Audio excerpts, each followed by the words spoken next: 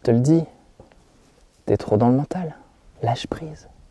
Quand on commence à s'intéresser à la thématique spiritualité, à faire des rencontres, des expériences, des pratiques inédites, eh bien on peut se retrouver confronté à cette phrase assez inconfortable, il faut le dire, et on te laisse pratiquement l'essentiel du temps sans explication. Juste, tu sais que tu es trop dans le mental, qu'il faudrait que peut-être tu lâches prise, peut-être que tu de penser, que tu sois moins dans l'analyse, plus dans le moment présent. Et toute cette sémantique un petit peu maladroite vient se confondre dans un principe qui serait que il faudrait faire taire le mental.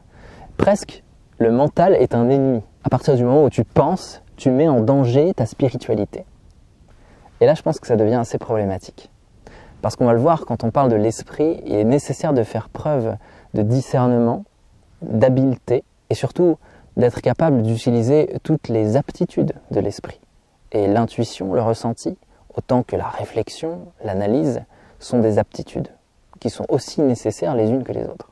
Alors, qu'est-ce qui se cache derrière cette phrase? La première chose, je pense, c'est l'idée qu'on inviterait une personne qui pratique, qui débute une pratique, à se relier davantage à la partie intuitive de son esprit, à ce qui est dans le moment présent. Ça peut être des ressentis, aussi subtils soient-ils.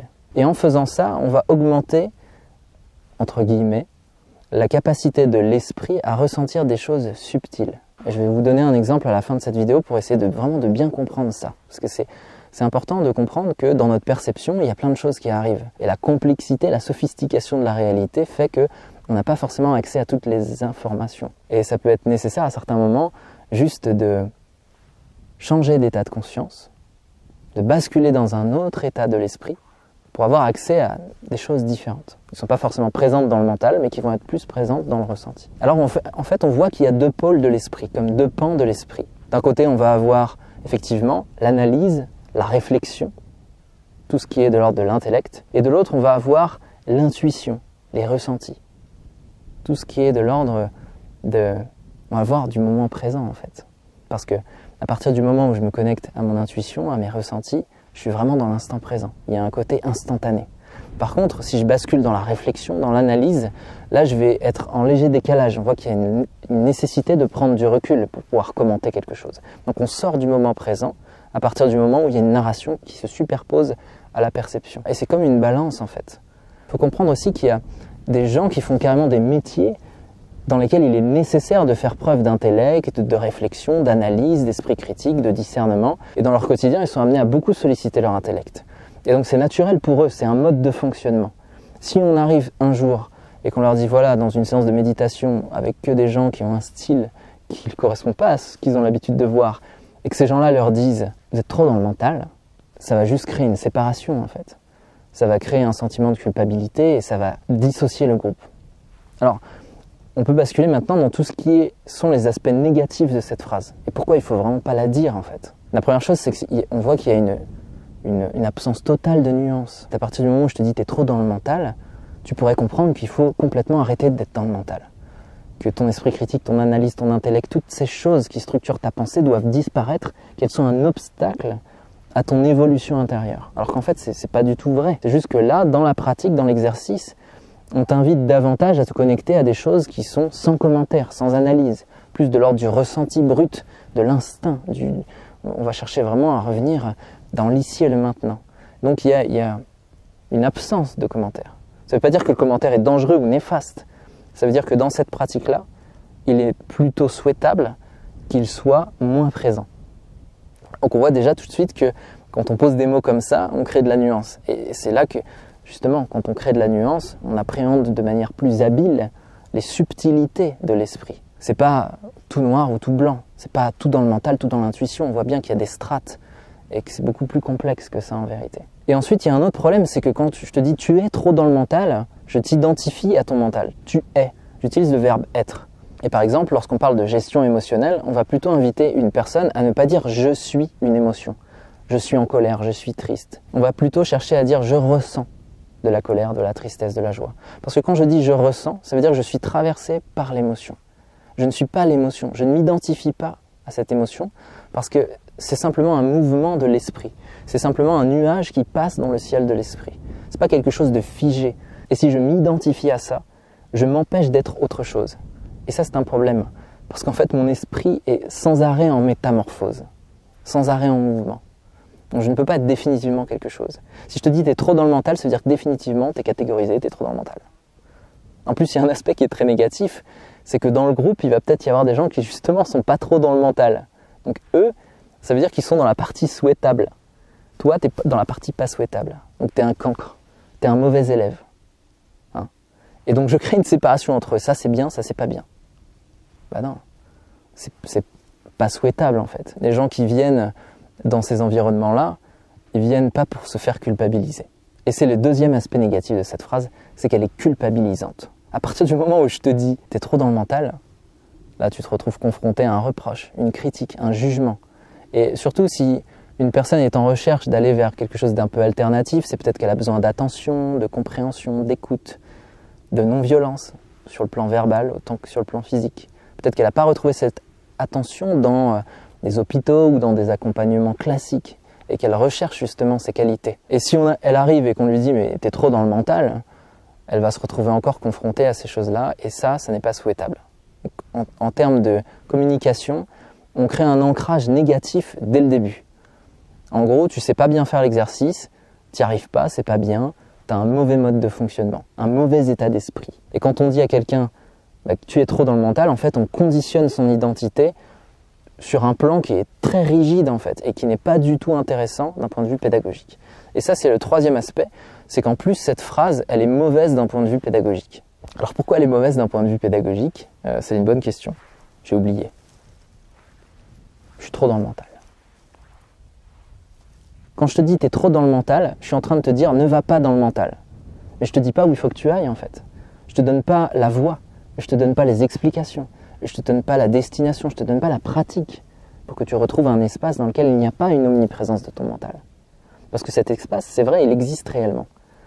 Mais si je te dis juste tu es trop dans le mental, t'as aucune info en fait. Tu es seul face à ça. Et c'est pour ça que d'un point de vue pédagogique, c'est très mauvais. Parce qu'en fait, il est plutôt souhaitable de donner la direction plutôt que de dire ne fais pas ci, ne fais pas ça. Alors, quelles sont les solutions? Comment est-ce qu'on peut appréhender la chose de manière intelligente et constructive? De manière très simple en fait, en invitant la personne à se relier davantage à son intuition, à se relier davantage au moment présent, à ramener son attention sur l'objet observé. Par exemple, si je dois me concentrer sur une odeur, ça nécessite que je sois relié à la sensation, que je me connecte à mon ressenti. Et si je suis dans l'analyse, dans le commentaire, je ne vais pas être vraiment dans le ressenti. Donc, lorsqu'il y a un commentaire, je ramène mon attention au centre, sur la sensation. Et il y a un mouvement en fait, c'est comme un serpent l'attention, elle bouge. À un moment donné, mon attention elle est captée par un commentaire, donc je sors de l'exercice. Là, je reviens dans l'odeur. Je reviens dans la sensation. Et puis hop, il y a encore autre chose. Il y a une critique, un jugement, c'est agréable, désagréable. Et hop, de manière consciente, je reviens dans le ressenti. Et en fait, c'est ce mouvement de l'esprit qui fait que en fait, mon intention bouge comme ça. Et j'ai besoin de m'aligner avec mon intuition, avec mon ressenti. Et pour ça, il faut que je fasse en sorte que d'un coup, le serpent bouge moins. Pour se retrouver plutôt dans, un espace un peu de calme. Une sorte de zone d'accalmie de l'esprit. Un endroit où il n'y a pas trop de nuages, pas trop de tempêtes dans mon esprit. Je me retrouve dans un paysage qui est plutôt calme, plutôt tempéré. Là, on est dans la nature. Imagine que toi et moi, on soit dans une conversation, et puis on est captivé par la conversation, on parle, on parle, mais en fait, notre intention de départ, c'était de voir un renard ou un cerf. Et là, le cerf ou le renard pourrait passer derrière nous, on le verrait même pas si on est pris dans la conversation. Mais si d'un coup j'entends une brindille qui fait un bruit, je vais dire chut. Et là, on va se tourner. Oh, on va être confronté au spectacle. Et là, on va voir quoi? Un cerf en face de nous.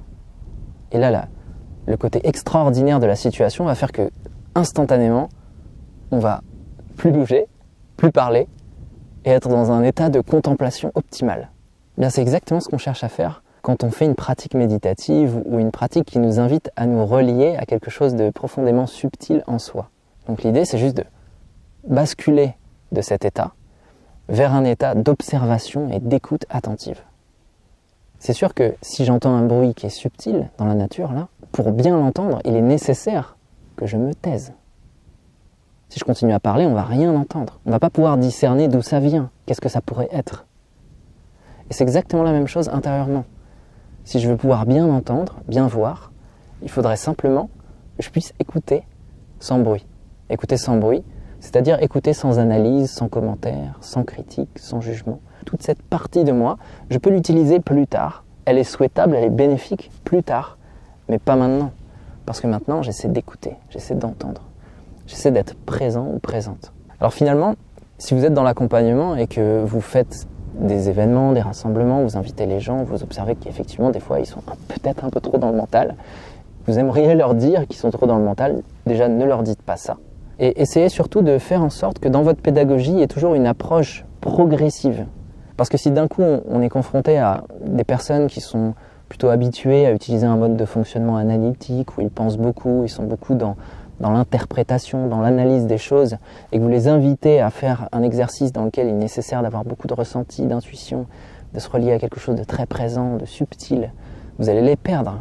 Il est plutôt souhaitable de commencer par un échauffement, d'y aller de manière progressive, de les inviter plutôt à se reconnecter à une sensation qui soit facile. Par exemple, ça peut être la sensation de cette brindille sur ma main, ou du contact entre mes deux doigts, ou d'un son ou d'une odeur qui est bien présente et inviter ces personnes à se relier à ça avant même de se relier à leur intuition, à leur imagination ou à des choses encore plus subtiles. Parce que sinon, ils vont simplement pas y arriver et c'est normal. Ils vont pas y arriver parce qu'ils sont pas entraînés. Leur esprit est tout le temps en mouvement, leur esprit est tout le temps dans, cette balance psychologique d'analyse, de critique, de jugement. Et donc il y a toujours une espèce de, de brouhaha intérieur. Donc c'est important, je pense, d'avoir une bonne pédagogie, savoir observer et de faire en sorte qu'il y ait une progression. Et toujours d'encourager en invitant la personne à aller vers la réussite plutôt qu'en lui disant tu fais mal. Et ça, je pense que c'est une bonne pédagogie. En tout cas, c'est une meilleure pédagogie que celle qui consisterait à dire j'aimerais bien avoir un, bâton, voilà, comme un martinet.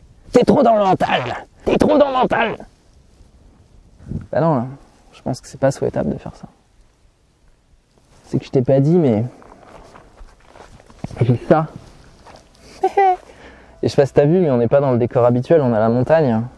Et la montagne, qu'est-ce qu'il y a? Il y a des paysages magnifiques, tu vas voir. Je vais te montrer un petit peu ici, tu vas voir comme c'est beau. Connected the drone, just put the drone on. Ouh, si l'appareil est connecté, je te dis. Voilà les amis, t'es prêt Néo? Décollage. Ouh. Waouh What a game Alors là, on est en mode automatique, c'est un peu mieux, ouais. Donc voilà, je vais te faire faire un petit tour du propriétaire. Donc qu'est-ce qu'on a par là? On va monter un peu. Hein. Ouais. Très beau. Magnifique.